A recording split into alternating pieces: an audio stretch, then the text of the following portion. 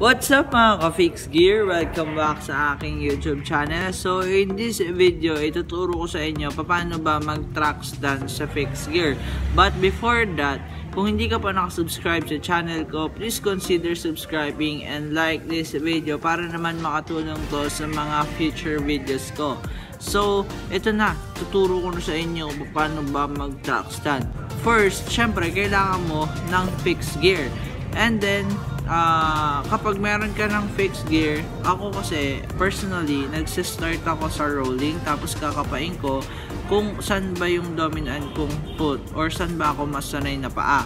So, ako sanay kasi ako sa kanan na paa. So, yung paa ko na kanan is yun yung naka-forward na angle sa pedal ko. So, yung left side ko is yung nasa back pedal or yung nasa likod na part tapos, yung right foot ko is yung naka-forward.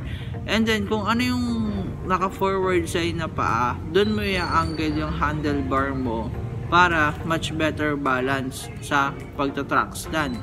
Ako, uh, kanan ako, so basically, yung, uh, manuba, yung manubela ko, yung handlebar ko is naka-angle siya ng uh, per right side. Ngayon, magpa-parallel yung paa mo uh, ng horizontally and then try mo na mag forward backward na pedal para mabalansin mo na yung bisikleta.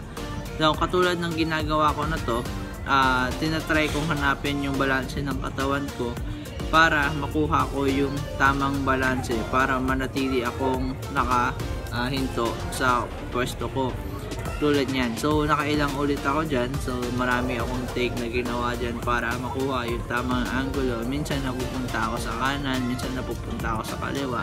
Pero dahil sinabi ko sa inyo kanina na uh, right foot dominant ako, so, uh, kinukuha ko yung angulo ng uh, kanan pa ako pero paulit-ulit kasi ako napupunta sa kaliwa so napakaraming take. So uh, okay lang yan guys. Uh, patience is a virtue. Uh, talagang tiyagaan lang kung gusto mo talagang matutunan hindi din naman kasi madali sa una kahit ako na matagal na ako nag-ride ng fixie is medyo nahihirapan pa din ako lalo na yung pwesto ko dito sa amin is medyo nakapababa yung kalsada dito sa amin. I mean yung lugar sa amin is medyo pababa.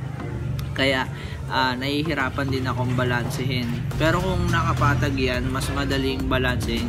Kapag nagawa mo na uh, practicein mo lang kasi minsan uh, nagkakamali. Kung natutunan mo na pagtutrack stand, edi masaya, share mo din itong video na to para naman makatulong tayo sa mga beginner na ka-fix gear natin.